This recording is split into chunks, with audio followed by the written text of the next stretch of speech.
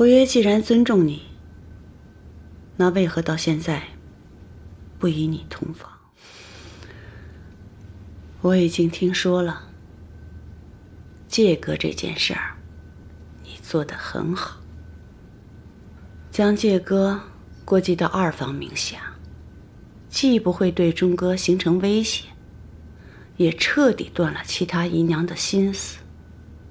但是你不能掉以轻心，绝不能让他们夺了侯爷的宠爱。侯爷非常重视谆哥。对女儿也十分尊重，母亲就别操心这个了，安心养病吧。侯爷既然尊重你，那为何到现在不与你同房？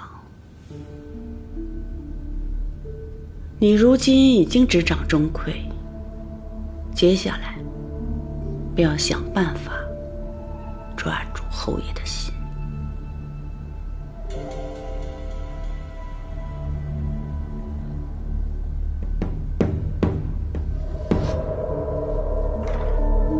男人都贪图新鲜，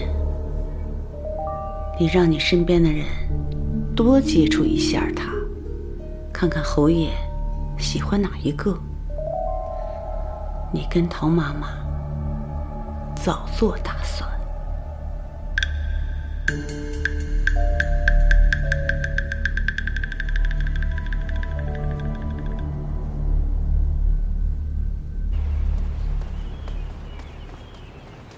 侯爷最近来夫人屋里次数颇多，太太又怎会知晓侯爷跟夫人还未同房？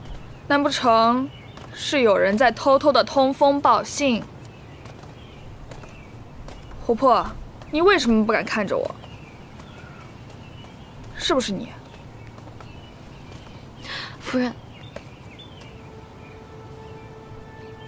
对不起。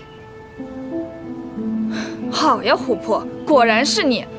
夫人这么信任你，你却背叛她，你早就想好要当通房上位是不是？夫人，琥珀绝无此心，还请夫人信我。夫人，你不能再相信他了，他背叛过你。好了，进去吧。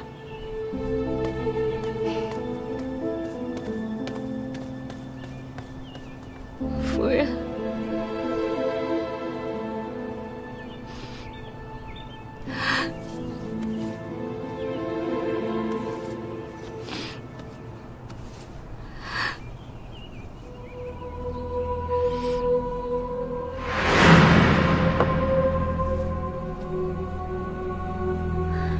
你放心，姐姐有办法。